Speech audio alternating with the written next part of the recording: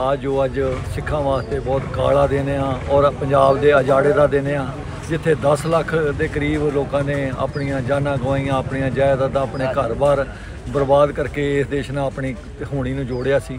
ਪਰ ਇਸ ਦੇਸ਼ 'ਚ ਵੀ ਆ ਕੇ ਸਾਡੇ ਨਾਲ ਬਹੁਤ ਬੇਇਨਸਾਫੀਆਂ, ਧੱਕੇਸ਼ਾਹੀਆਂ ਹੋ ਰਹੀਆਂ। ਸਾਡੇ ਬੰਦੀ ਸਿੰਘ 30 30 35 35 ਸਾਲ ਤੋਂ ਜੇਲ੍ਹਾਂ 'ਚ ਬੰਦ ਆ, ਜਿਹੜੇ ਜਿਹੜੇ ਕੌਮ ਦੀ ਗੱਲ ਕਰਨ ਵਾਲੇ, ਕੌਮ ਦੇ ਹਿੱਤਾਂ ਦੀ ਰਾਖੀ ਕਰਨ ਵਾਲੇ, ਉਹਨਾਂ ਨੂੰ ਇਹ ਡਬਲ ਡਬਲ ਸਜ਼ਾਵਾਂ ਤੋਂ ਵੀ ਵੱਧ ਭੋਗਣ ਤੇ ਬਾਵਜੂਦ ਵੀ ਨਹੀਂ ਛੱਡਿਆ ਜਾ ਰਿਹਾ।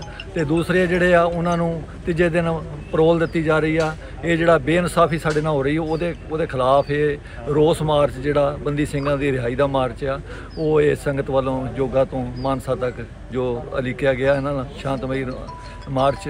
ਤੇ ਉਹਦੇ ਵਾਸਤੇ ਅਸੀਂ ਵੀ ਇੱਥੇ ਗੁਰੂ ਘਰ ਮੱਥਾ ਟੇਕਣ ਵਾਸਤੇ ਆਏ ਹਾਂ ਤੇ ਇਹਨਾਂ ਨੂੰ ਇਹਨਾਂ ਦੇ ਨਾਲ ਅਸੀਂ ਸਹਿਯੋਗ ਕਰਨ ਵਾਸਤੇ ਤੇ ਇਹਨਾਂ ਨੂੰ ਇਹ- ਇਹਨਾਂ ਦੀ ਸ਼ੁਰੂਆਤ ਕਰਨ ਵਾਸਤੇ ਅਸੀਂ ਆਏ ਹਾਂ ਭਾਈ ਅਮਰਤਪਾਲ ਜੀ ਨੂੰ ਐਮਪੀ ਚੁਣਿਆ ਗਿਆ ਜੀ ਪਰ ਉਹਦੇ ਲਈ ਹੁਣ ਜਿਹੜੀ ਪੈਰੋਲ ਆ ਉਹਦੇ ਲਈ ਕੀ ਕੀਤਾ ਜਾ ਰਿਹਾ? ਬਾਹਰ ਵਾਲੇ ਦੇਖੋ ਨਹੀਂ ਹੈ ਕੀ ਉਹਦੇ ਲਈ ਕੀ ਉਪਰਾਲੇ? ਇਹ ਦੇਖੋ ਜੀ ਕਿੱਡੀ ਧੱਕੇਸ਼ਾਹੀ ਹੈ ਕਿ ਇੱਕ ਪੰਜਾਬ ਚੋਂ ਸਭ ਤੋਂ ਵੱਧ ਬਹੁਮਤ ਨਾਲ ਜਿੱਤਣ ਵਾਲੇ ਆਦਮੀ ਨੂੰ ਤਾਂ ਜੇਲ੍ਹ 'ਚ ਰੱਖਿਆ।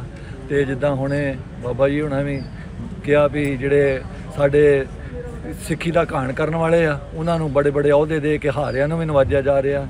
ਤੇ ਇਹ ਇਹ ਇਹਨਾਂ 'ਚ- ਇਹ ਇਸੇ, ਇਹੋ ਹੀ ਰੋਸ ਮਾਰਚ ਅਸੀਂ ਇਹਨਾਂ ਦੇ ਖਿਲਾਫ ਹੀ ਅਸੀਂ ਇਹ ਚੀਜ਼ਾਂ ਕਰ ਰਹੇ ਹਾਂ ਕਿ ਸਾਡੇ ਨਾਲ ਜੋ ਇਹ ਬੇਇਨਸਾਫੀਆਂ, ਧੱਕੇਸ਼ਾਹੀਆਂ, ਅਸੀਂ ਇਹ ਦੇਸ਼ ਦੀ ਖਾਤਰ ਆਪਣਾ ਘਰ-ਬਾਰ, ਆਪਣੇ ਗੁਰਧਾਮ ਛੱਡੇ, ਆਪਣੇ ਜਾਇਦਾਦਾਂ ਕਈ ਕੁਛ ਆ ਸਾਡਾ ਕਿ- ਕਿੰਨੇ ਲੋਕਾਂ ਨੇ ਆਪਣੀ ਜਾਨ ਦੀ ਕੁਰਬਾਨੀ ਦਿੱਤੀ। ਤੇ ਇੱਥੇ ਆ ਕੇ ਵੀ ਸਾਡੇ ਨਾਲ ਇਹੋ ਜਿਹੇ ਧੱਕੇਸ਼ਾਹੀ ਕਰਨੀ ਮੇਰੇ ਖਿਆਲ ਬਹੁਤ ਮਾੜੀ ਗੱਲ ਆ।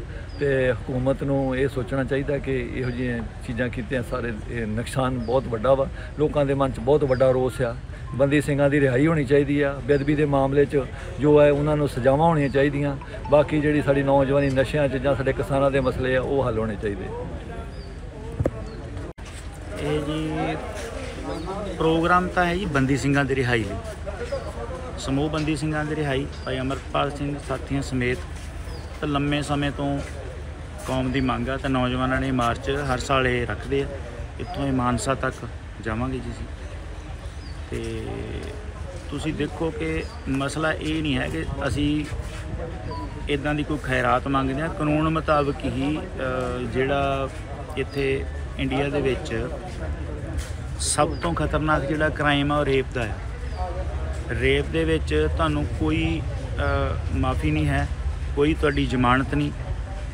ਰੇਪ ਜਿਹਦੇ ਨਾਲ ਹੋਇਆ, ਉਹ ਮੁੱਕਰ ਵੀ ਜਾਏ, ਤਾਂ ਵੀ ਜੱਜ ਜ਼ਮਾਨਤ ਨਹੀਂ ਦਿੰਦੇ। ਮਤਲਬ ਇੰਨੀ ਖਤਰਨਾਕ ਗੱਲ ਜਿਹੜਾ ਬੰਦਾ ਰੇਪ 'ਚ ਬੰਦਾ ਉਹ ਲਗਾਤਾਰ ਪੈਰੋਲ ਤੇ ਆ ਰਿਹਾ।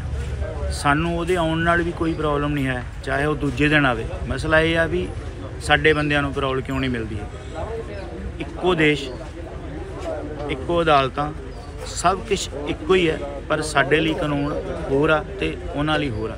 ਇਹ ਤੁਹਾਡੇ ਸਾਰਿਆਂ ਦੇ ਸਾਹਮਣੇ ਆ, ਚਾਹੇ ਉਹ ਪ੍ਰੈਸ ਹੈ ਇੰਡੀਆ ਦੀ, ਚਾਹੇ ਉਹ ਭਾਰਤੀਆਂ ਅਖਬਾਰਾਂ ਨੇ, ਚਾਹੇ ਉਹ ਡਿਜੀਟਲ ਮੀਡੀਆ ਆ ਸਾਰਿਆਂ ਨੂੰ ਇਸ ਗੱਲ ਦਾ ਪਤਾ ਆ, ਉਹ ਵੱਡੇ ਵੱਡੇ ਪ੍ਰੋਗਰਾਮ ਕਰਾਉਂਦਾ ਆ ਕੇ, ਔਰ ਸਾਡੇ ਨਾਲ ਇੰਨਾ ਵੱਡਾ ਵਿਤਕਰਾ ਇਹ ਅੱਜ ਤੋਂ ਨਹੀਂ, ਸ਼ੁਰੂ ਤੋਂ ਹੋ ਰਿਹਾ, ਔਰ ਮੈਨੂੰ ਨਹੀਂ ਲੱਗਦਾ ਵੀ ਭਵਿੱਖ 'ਚ ਵੀ ਕੋਈ ਇਹਦੀ ਆਸ ਹੈਗੀ ਆ। ਔਰ ਅਗਲੀ ਗੱਲ, ਜਿੱਥੇ ਕਾਨੂੰਨ ਘੜੇ ਜਾਂਦੇ ਆ, ਉਹ ਹੈਗੀ ਆ ਪਾਰਲੀਮੈਂਟ, ਤੇ ਪਾਰਲੀਮੈਂਟ ਲਈ ਇੱਥੋਂ ਮੈਂਬਰ ਜਿੱਤ ਕੇ ਜਾਂਦੇ। ਜਿਹੜੇ ਇੱਥੋਂ ਮੈਂਬਰ ਜਿੱਤ ਕੇ ਜਾਂਦੇ ਆ, ਜਿੱਤਿਆਂ ਹੋਇਆਂ ਨੂੰ ਹੀ ਉੱਥੇ ਐਂਟਰੀ ਮਿਲਦੀ ਆ। ਸਭ ਤੋਂ ਖਤਰਨਾਕ ਗੱਲ ਇਹ ਕਿ ਭਾਈ ਅਮਰਤਪਾਲ ਸਿੰਘ ਜਿੱਤ ਜਾਂਦੇ ਆ, ਉਹ ਜੇਲ੍ਹ 'ਚ ਬੰਦ ਨੇ। ਜਿਹੜਾ ਬੰਦਾ ਹਾਰ ਜਾਂਦਾ ਆ ਔਰ ਸਿੱਖਾਂ ਦਾ, ਉਹਨਾਂ ਦੀ ਫੈਮਿਲੀ ਜਿਹੜੀ ਆ ਉਹ, ਉਹਨਾਂ ਦਾ ਨਾਂ ਹੀ ਆ ਬੇਅੰਤਾ ਬੁੱਚੜ, ਕਾਤਲ ਨੇ ਉਹ ਸਿੱਖ ਕੌਮ ਦੇ। ਉਹ ਹਾਰ ਜਾਂਦਾ ਆ, ਤਾਂ ਉਹਨੂੰ ਵੱਡੇ ਅਹੁਦੇ ਦੇ ਉੱਤੇ ਬਿਠਾਇਆ ਜਾਂਦਾ ਹੈ। ਸੋ ਸਾਡੇ ਨਾਲ ਇਹ ਧੱਕਾ ਆ ਤੇ ਅਸੀਂ ਆਪਣੀ ਆਵਾਜ਼ ਜਿਹੜੀ ਆ ਉਹਨੂੰ ਬੁਲੰਦ ਕਰਨ ਲਈ ਇਦਾਂ ਦੇ ਹੋਰ ਵੀ ਮਾਰਚ ਪੰਜਾਬ 'ਚ ਲਿਖੇ ਹੋਇਆ ਤੇ ਇਹ ਅੱਜ ਅਸੀਂ ਮਾਰਚ ਕੱਢ ਰਹੇ ਹਾਂ ਸੰਗਤ ਦੇ ਸਹਿਯੋਗ ਦੇ ਨਾਲ। ਇਹ ਪਿੰਡ ਦੇ ਨੌਜਵਾਨ ਨੇ, ਇਲਾਕੇ ਦੇ ਨੌਜਵਾਨ ਨੇ ਜਿਨ੍ਹਾਂ ਨੇ ਇਹ ਪ੍ਰੋਗਰਾਮ ਲਿਖਿਆ ਆ। ਅਸੀਂ ਇਹ 'ਚ ਸ਼ਾਮਲ ਹੋਣਾ ਆ ਔਰ ਜਿਹੜੇ ਵੀ ਇਦਾਂ ਦੇ ਪ੍ਰੋਗਰਾਮ ਨੇ, ਸਾਰੇ ਸਿੱਖਾਂ ਨੂੰ ਆਉਣਾ ਚਾਹੀਦਾ। ਵੈਸੇ ਐਡਾ ਵੱਡਾ ਪਿੰਡ ਆ 9000 ਵੋਟ ਆ ਤੇ ਤੁਸੀਂ ਦੇਖ ਲਓ ਕਿੰਨੇ ਕੋ ਬੰਦੇ ਜਿਹੜੇ ਇੱਥੇ ਆਏ? ਲੋਕ ਹਵਾ ਦੇ ਰੁੱਖ ਨਾਲ ਚੱਲਦੇ ਆ। ਕੌਮੀ ਯੋਧਿਆਂ ਨੇ ਜਿਨ੍ਹਾਂ ਨੇ ਤੁਹਾਡੇ ਲਈ ਜੰਗ ਲੜੀ ਆ, ਜਿਨ੍ਹਾਂ ਨੇ ਉਸ ਦਰਬਾਰ ਸਾਹਿਬ ਦੀ ਪਵਿੱਤਰ ਲਈ ਸ਼ਹਾਦਤਾਂ ਪਾਈਆਂ, ਉਸ ਤੋਂ ਬਾਅਦ 10 ਸਾਲ ਲਹੂ ਡੋਲਵੀਂ ਲੜਾਈ ਲੜੀ ਗਈ ਆ। ਹਜ਼ਾਰਾਂ ਲੱਖਾਂ ਇੱਥੇ ਕਤਲ ਹੋਏ ਨੇ। ਕਾਤਲ ਸਾਡੇ ਸਿਰ ਤੇ ਬੈਠੇ ਆ। ਤਾਂ ਇਸ ਲਈ ਅਸੀਂ ਆਪਣੀ ਆਵਾਜ਼ ਜਾਗਦੀਆਂ ਕੌਮਾਂ ਜਿਹੜੀਆਂ ਬੁਲੰਦ ਕਰਦੀਆਂ ਆ ਅਸੀਂ ਆਪਣੇ ਹੱਕਾਂ ਲਈ ਸੜਕ ਤੇ ਚੱਲੇ ਆ। ਹੋਰ ਸਾਡਾ ਕੋਈ ਪਰਪਸ ਨਹੀਂ। ਸਾਹਿਬ ਕੀ ਕਹਾਣੀ ਹੈ ਪੂਰੀ?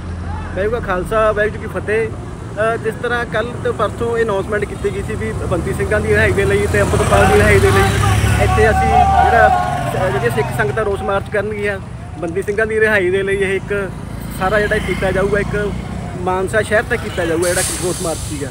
ਤਾਂ ਸ਼ਾਂਤਮਈ ਜਾ ਰਹੇ ਸੀਗੇ, ਪੁਲਿਸ ਨੇ ਰਾਹ 'ਚ ਨਾਕੇਬੰਦੀ ਕਰਕੇ ਕੁਝ ਸਾਥੀਆਂ ਨੂੰ ਗ੍ਰਿਫਤਾਰ ਕੀਤਾ ਹੈਗਾ ਕੁਝ ਨੂੰ ਫੜੋ ਫੜਾਈ ਜਾਰੀ ਹੈ। ਤਾਂ ਮੇਰੀ ਪ੍ਰਸ਼ਾਸਨ ਨੂੰ ਬੇਨਤੀ ਹੈ ਵੀ ਜਿਹੜੇ ਇਹ ਬੰਦੀ ਸਿੰਘਾਂ ਦੀ ਰਿਹਾਈ ਤੇ ਭਾਈ ਅੰਮ੍ਰਿਤਪਾਲ ਦੀ ਰਿਹਾਈ ਦੇ ਬਾਰੇ ਜਾ ਰਿਹਾ, ਇਹਨਾਂ ਨੂੰ ਧੁਰ ਤੱਕ ਜਾਣ ਦਿਓ। ਇਹਦੇ ਵਿੱਚ ਕੋਈ ਨਿਊਸੈਂਸ ਕ੍ਰੀਏਟ ਨਹੀਂ ਹੋਊਗਾ। ਇਹ ਸਾਡੀ ਆਪ ਦੀ ਜ਼ਿੰਮੇਵਾਰੀ ਹੈ। ਇਸ ਕਰਕੇ ਸਾਰਿਆਂ ਨੂੰ ਬੇਨਤੀ ਵੀ ਜਿਹੜੇ ਸਿੱਖ ਸੰਗਤਾਂ ਰੋਕਿਆ ਗਿਆ, ਉਹਨਾਂ ਨੂੰ ਸ਼ਹਿਰ ਤੱਕ ਜਾਣ। ਵਾਹਿਗੁਰੂ ਖਾਲਸਾ, ਵਾਹਿਗੁਰੂ